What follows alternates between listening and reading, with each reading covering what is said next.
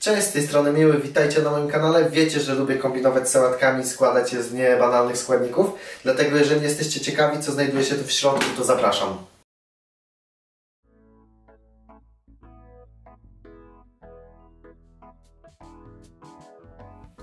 Ok, to zaczynamy. Bazą naszej sałatki będzie sałata rzymska i szpinak. Mam jedną główkę sałaty rzymskiej i taką dobrą garść szpinaku. Oczywiście wcześniej sobie wszystko umyłem, wysuszyłem, więc mamy gotowe. Sałatę rzymską przekładamy do, bezpośrednio do salaterki, ale rwiemy ją, nigdy nie kroimy. Każdą sałatę, e, jeżeli chodzi o podzielenie, to lepiej jest rwać niż e, kroić nożem. Przykładem dobrym jest tego sałata lodowa, która tak naprawdę po przekrojeniu jest gorzka, ale dzisiaj skupmy się na sałacie rzymskiej, bo tej używamy, więc będziemy sobie spokojnie rwali do salaterki wszystkie liście, poodrywam najpierw z główki i za chwilę będę je po prostu przedzierał i e, rozdrabniał na kawałki, żeby właśnie przykryć całą powierzchnię naszej e, salaterki, bo to jest nasza baza. Szpinak zostawiamy w takiej, w takiej postaci, jakiej tutaj widzimy, więc całe liście po prostu przerzucimy i przemieszamy dwie sałaty ze sobą. Także teraz wszystko sobie tutaj będziemy rozkładać. Rwiemy i rozrzucamy w naszej salaterce. Nie muszą być jakieś małe kawałki, ale nie mogą być też całe liście, więc sobie na spokojnie porwiemy i przełożymy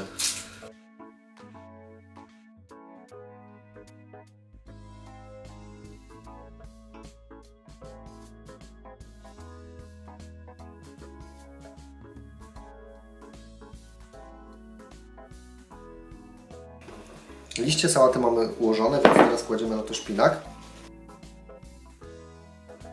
Teraz mieszamy jedno z drugim, żeby troszkę się połączyły. Ok, naszym składnikiem kolejnym y, tej sałatki będzie marchew. Marchewkę sobie wcześniej obrałem, mam tutaj przygotowaną jedną marchewkę i tak naprawdę marchewkę kroję sobie w... Tutaj macie troszkę dowolności, albo pokrójcie ją leciutko w pół plastry, albo pokrójcie sobie w paski. Ja sobie postaram pokroić ją w paski, więc jeszcze raz na pół i będę starał się, żeby te paski były cienkie, dlatego przekrajam ją jeszcze raz i teraz sobie kroję takie paski.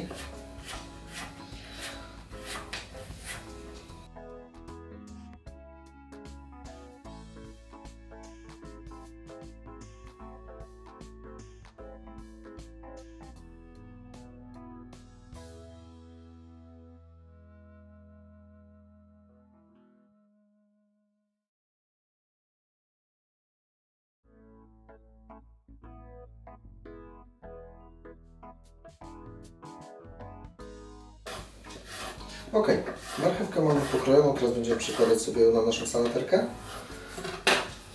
Staramy się lekko jakoś to poukładać, żeby też było widoczna marchewka na tej sałacie i na szpinaku.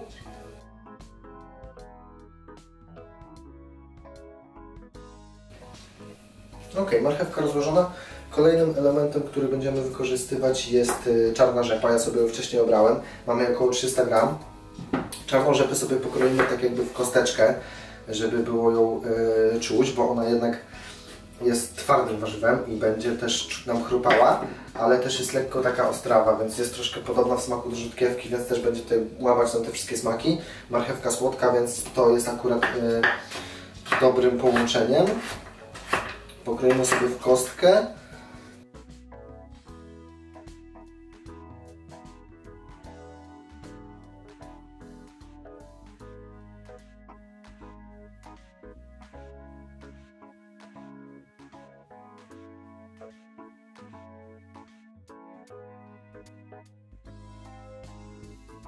Ok, rzepę mamy już pokrojoną, więc teraz przełożymy sobie ją na salaterkę.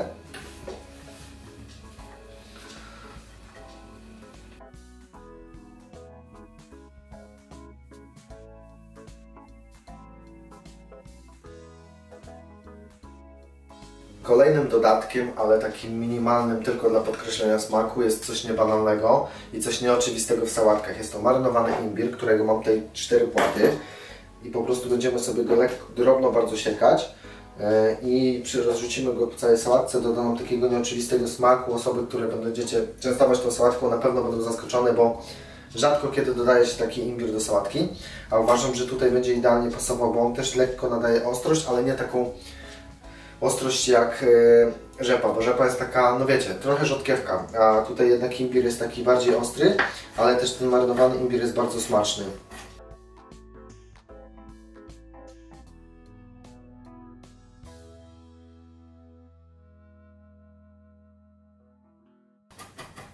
Pamiętajcie, by ten imbir też drobno przesiekać, żeby nie zdradzić go, że tak powiem, na starcie. Na pewno ktoś, kto już jadł imbir marynowany, wyczuje go w sałatce od razu, bo on ma taki charakterystyczny zapach, ale tak, żeby nikt go nie widział, musicie go drobno przesiekać, no i wtedy zaskoczy na 100% Was i Waszych znajomych smakiem.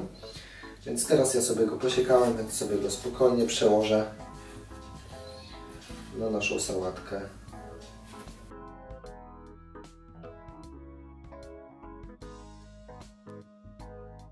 Ok, imbir mamy przełożony, więc teraz tak naprawdę zajmiemy się sosem. Zostały nam jeszcze tutaj dwa elementy, ale to wykończymy nimi sałatkę.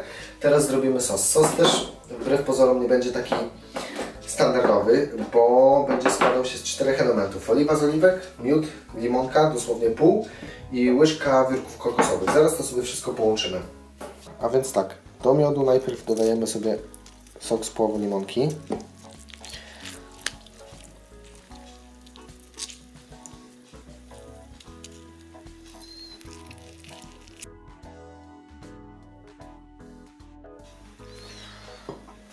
Mieszamy go razem z miodem.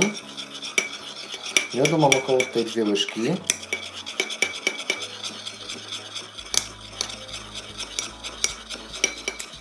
Teraz dodajemy około dwie łyżki oliwy z oliwek.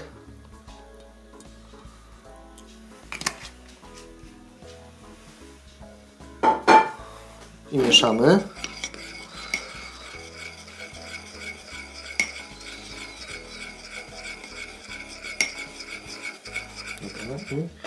I teraz dodajemy łyżkę wiórków kokosowych. Wszystko ładnie mieszamy.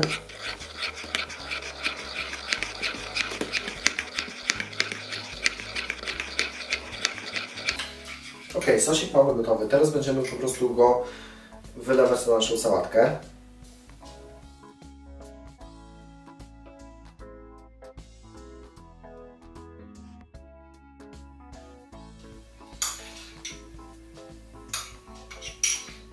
I teraz pozostało nam połączyć tak naprawdę nasze danie.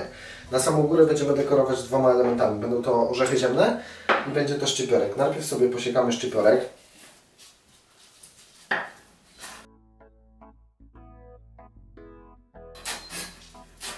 Ok, mamy posiekany szczypiorek, od razu będziemy go przykładać sobie na naszą sałatkę. Nie musi być bardzo drobny, musi być tylko posiekany, żeby też widać go było, bo to też jest fajny element który ładnie dekoruje naszą sałatkę. Więc teraz go przekładamy na naszą sałatkę.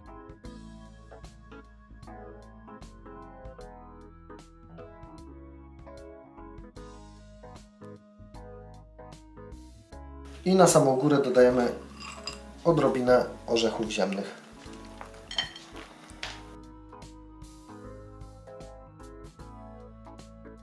Myślę, że to połączenie i ta konfiguracja składników zaskoczy Was i Waszych bliskich. Też uważam, że to jest połączenie idealne, bo mamy i ostrą czarną rzepę i mamy ostry imbir, który podkreśla ten smak, ale też nadaje świeżości, bo on jednak ten marynowany imbir ma taki charakterystyczny zapach, ale i smak. Do tego mamy słodycz w postaci właśnie miodu, wiórek kokosowych i też lekko mm, chrupiącej marchewki. No i to wszystko jeszcze z orzechami, ze szczypiorkiem, myślę, że to jest petarda. Jeżeli nie moglibyście znaleźć w sklepie czarnej rzepy, alternatywą bardziej dostępną i bardziej popularną jest biała rzepa. Jest podobny smak, tylko z białą rzepą, jeżeli byście robili tą sałatkę, to zetrzyjcie sobie ją i lekko wyciśnijcie. A gdyby nie było białej rzepy, to oczywiście rzutkiewka jest najlepszą alternatywą. No jeżeli Wam się ten przepis spodobał i zaskoczył Was smakiem, to dajcie znać w komentarzu. Oczywiście zostawcie łapkę w górę i zasubskrybujcie mój kanał, a my widzimy się niebawem z kolejnymi przepisami, także trzymajcie się, cześć!